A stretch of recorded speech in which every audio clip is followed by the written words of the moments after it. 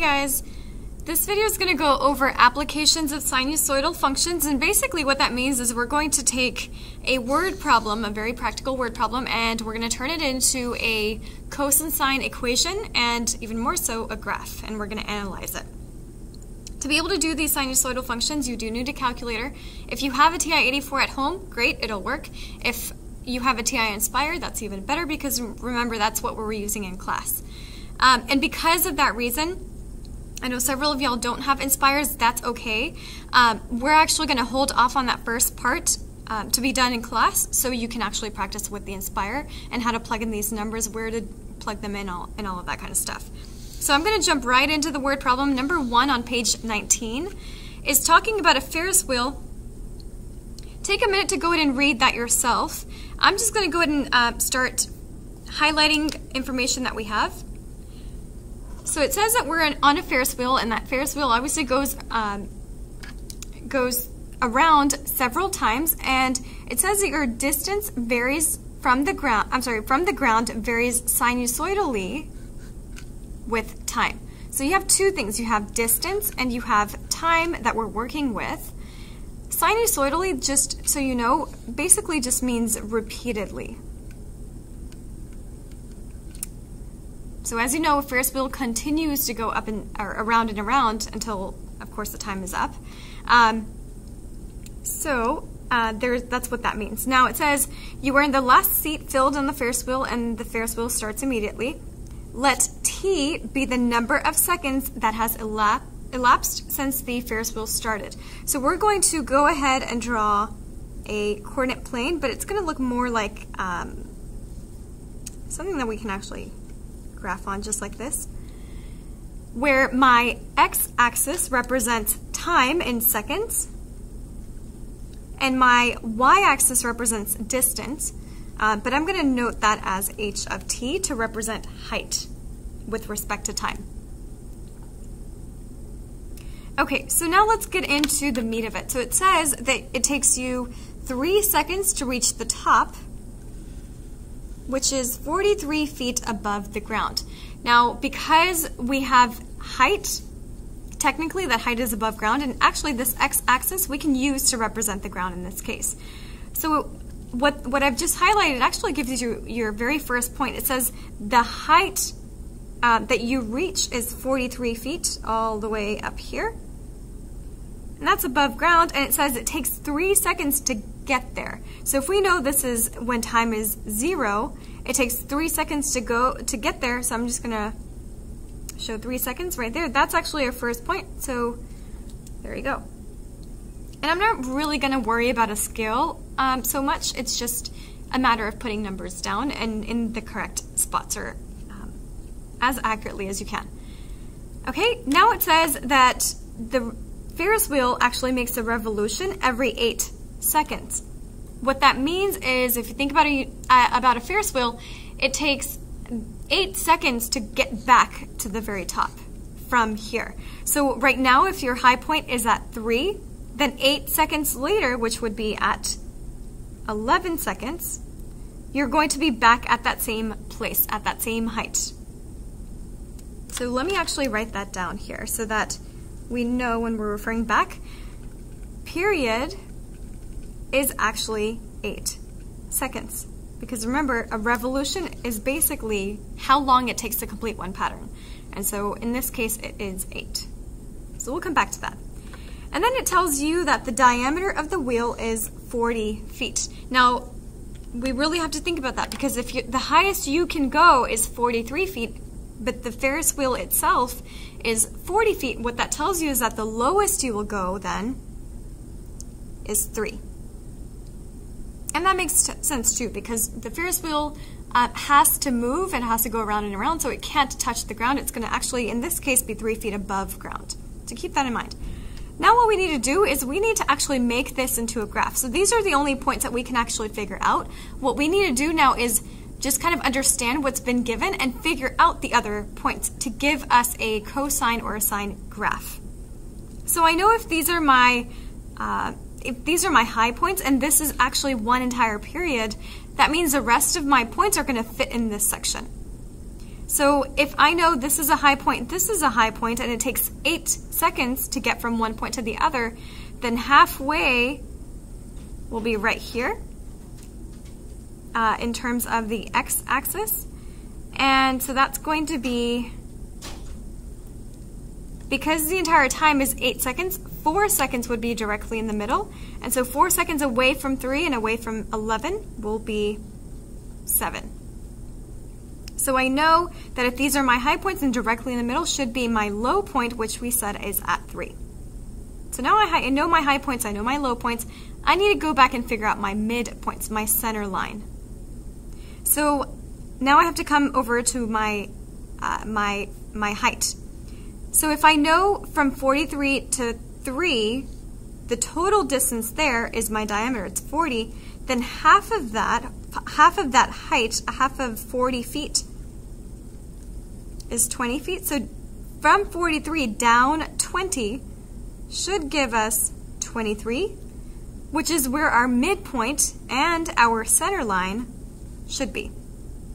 So now I have to go here to find, I know my y value, my midpoint for my y value is going to be at 23, but now for my x's, I need to go between 3 and 7 seconds. And I don't really need to find the numbers on that, that's not really going to help me, but just so I know where it's at.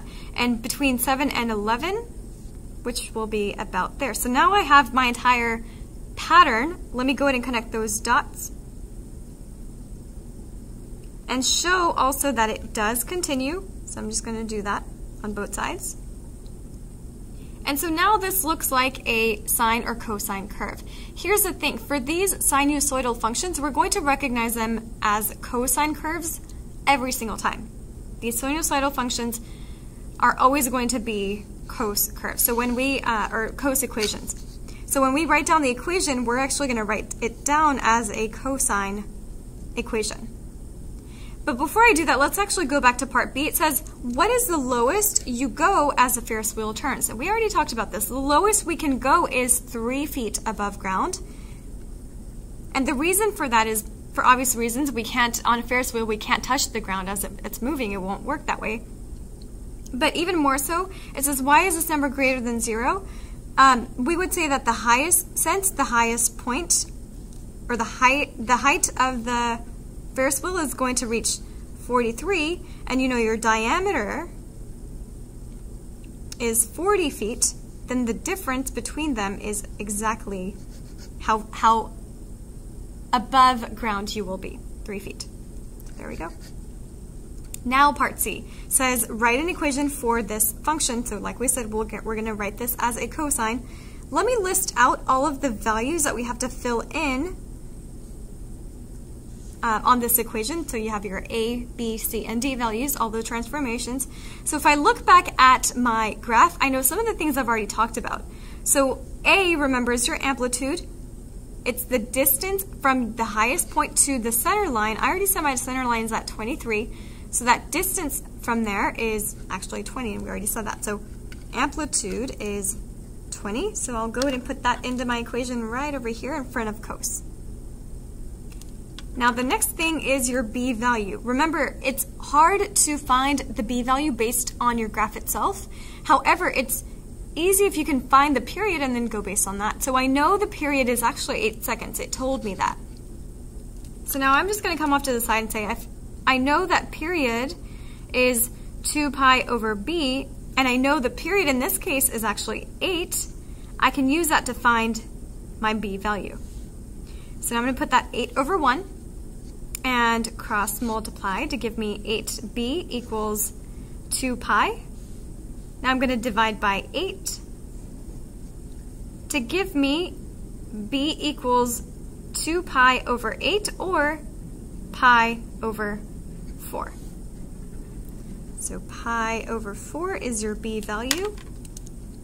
And you're probably thinking, why is your b value in terms of pi? Well, the reason for that is because your x-axis is not in terms of pi. So typically, your x values are in terms of pi or the b. It's either or. So in this case, because our x values are actually in terms of seconds in decimal form, our b value will now have a pi in it.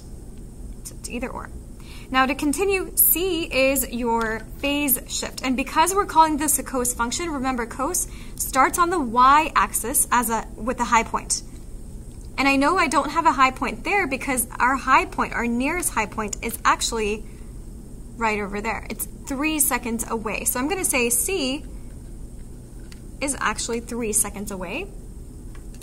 So 3 will be your C value. And because I'm going to the right, I'm going to write down minus 3, just like that.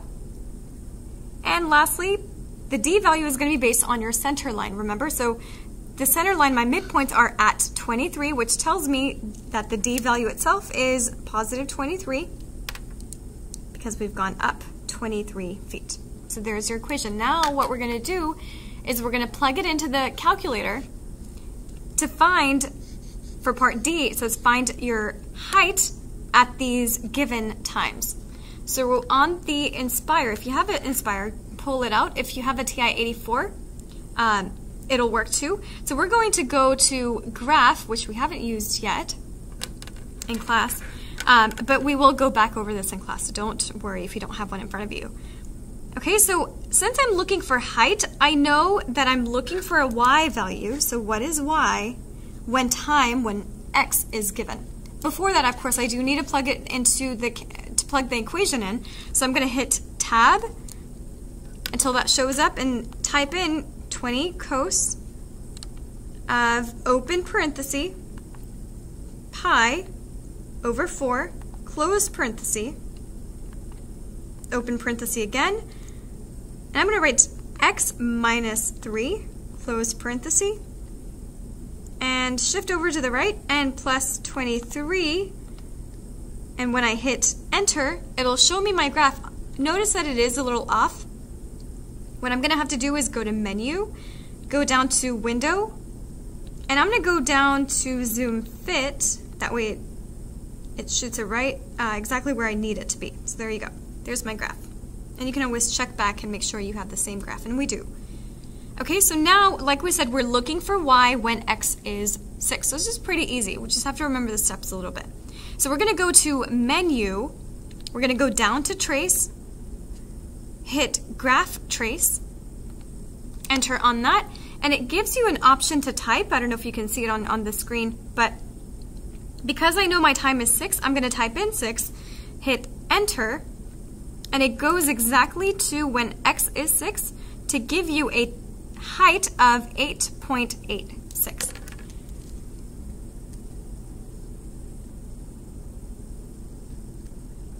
And that's the height when time is 6 seconds. Okay, the next one it says, what about 13 over 3 seconds? So again, we're going to go to Menu, go down to Trace, Graph Trace, hit 13 divide by 3, hit enter, and it gives me 33 feet as a y value. And the next one says, what about time when uh, time is zero? So again, I'm gonna hit menu, trace, graph trace, and I'm gonna type zero, enter, and it gives me 8.8 seconds, or I'm sorry, feet again. So there you go. The last question says, what is the value of t? What is, in other words, what is x? The second time you are 18 feet above ground. So 18 feet will represent your y value. So we know 18 is your y. We don't know x, um, so we're going to have to actually do this a different way. So now here's my graph. If I know y is 18, I'm going to go to, actually I'm going to hit tab so that I'm able to type in another equation. And actually my equation is given to me, 18. So I'm going to type in 18 right over there, hit enter, and it'll graph you a line at 18. And I'm looking for, if you read carefully, it says, what is the time? The second time, though. So y-axis is going to represent when you start time, so we really just care about the positive, not the negative. Ignore the negative side. So that intersection, that first intersection right there is actually the first time you're at 18 feet above ground. We want the second time, so we want that intersection right there. So I'm going to go to Menu, go down to Analyze Graph.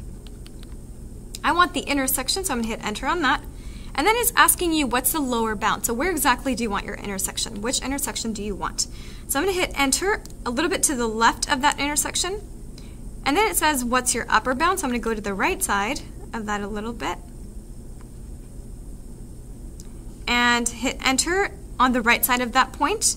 And so it, then it tells me, well, is this the intersection that you wanted? And it is. It gives me, let's see if I can get it to work. There you go. It gives me 5.32, and that's seconds when it's the second time you're 18 feet above ground. There you go. Okay, so there's your Ferris wheel problem. On page 20, you have another problem. And again, go ahead and pause the video, go ahead and read it. I'm going to go jump right in to the problem itself, it says that you have uh, Mark Twain who sat on the deck of a steamboat. As the paddle wheel turned, he noticed a dead fish caught on one of the paddles. We have, um, as the, the wheel turned, distance, your d value, um, or noted by d, that the fish from the water surface was a sinusoidal function of time. So what that means is we have our coordinate planes that we can get graph on. where again, because it says distance, we're going to call our y-axis d of t, distance with respect to time, where time is your x-axis. And because it's in seconds, I'm going to call that seconds, time in seconds. Okay, so let's go into the information that's given. It says, when the stopwatch read four seconds, the fish was at its highest 16 feet above water surface. So just like the previous problem, the x-axis will now represent the water's surface, so keep that in mind. And so 16 feet above ground is the highest, so here's 16. It took four seconds to reach that, so here's four, and so that gives you your very first point. And then it says it took another eight seconds to reach that height again another 10 seconds to reach that height again. So 10 seconds after 4 would be 14 seconds to reach that height again. So again, what that tells you is that this is how long it takes to finish one pattern. So again, the period then is 10 seconds. So now I need to figure out my other points. It says, first of all, the diameter of the wheel itself is 18 feet. So if I know that I started up here, the height is at 16, if I know the diameter is 18 feet, what that means is that the lowest your paddle um, will go is two feet under water. So about here, let's mark that as negative two. And so my lowest will be directly between 4 and 14, which is at 9, right over there, negative 2. Okay, and just like we did for the previous problem, we do need our midpoints again. So if I know that the entire distance is 18 feet on the y values, then half of that will be 9 feet. The radius will be 9. But I need to go down from 16, 9, which will be at 7 feet. So I know my midpoints will be at 7 feet at these times right over here. And again, I don't really care so much about the values themselves. I just need those points there. So now if I make that into a graph, just like that, and show that it continues, this is what I have, and I'm ready to go. And again, this is your center line. Okay, so now write an equation. So again, we're going to call this a cosine curve, just like we said um, we're going to do with all of these. And I want A, I want B, C, and D. Now A, we just mentioned, is the distance from your center line to the highest point, which we said is 9 feet, because total distance was 18, so cut that in half. And that's 9, so I'm going to put that in as my amplitude. B is based on the period, so period equals 2 pi over b. And so I know my period is 10, so 10 equals 2 pi over b.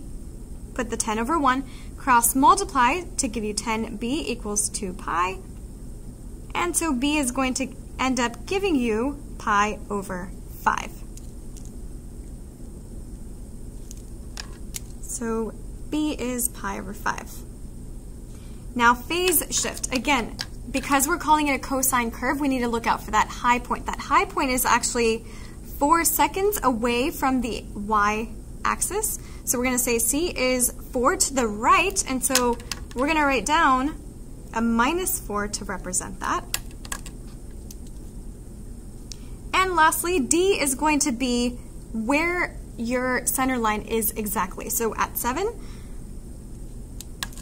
and because we've gone up 7, there you go, there's your equation. So again, on your calculator, go ahead and type that in.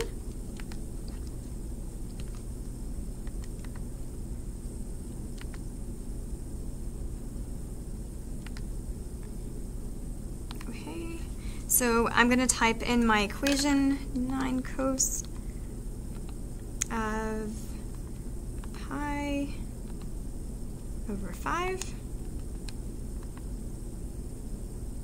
x minus 4 plus 7, okay? So now again I'm going to go to zoom fit, which is option A. There we go. Okay, now again I want time is 5 seconds. So I'm going to go to menu, go down to trace, graph trace. Time is 5 seconds, so hit 5 enter, and it gives me my height of 14.3 feet. Okay, the next one time is 17 seconds, so menu, trace, graph trace, 17, enter, and you have 4.22 feet. Oops, feet. Okay, now it says for part D, give one time in seconds, so we're really looking for x, what is x? When the fish is coming out of the water. Okay, so when it's coming out of the water, remember our water's surface is the, the x-axis when y equals zero. So we're going to go to our graph and hit tab so you're able to type that in y equals zero. So I'm going to type in zero, enter, and there's my line at y equals zero. I want the intersection and I want one, any one of the times, any one. So I'm going to go to, uh, I want to find the intersection. So I'm going to go to Menu, go down to Analyze Graph, Intersection, and let me actually go over here to this intersection. I'll just try to find that first that first intersection right there. So there's my lower bound, here's my upper bound, and there's my intersection at let's see if y'all, I don't know if y'all can see this, but when y is 0, x, it says, is 7.92 seconds. And there you go. Okay. Number three, on page 20, we're actually going to do tomorrow in class. And so we'll stop there. Thanks, guys.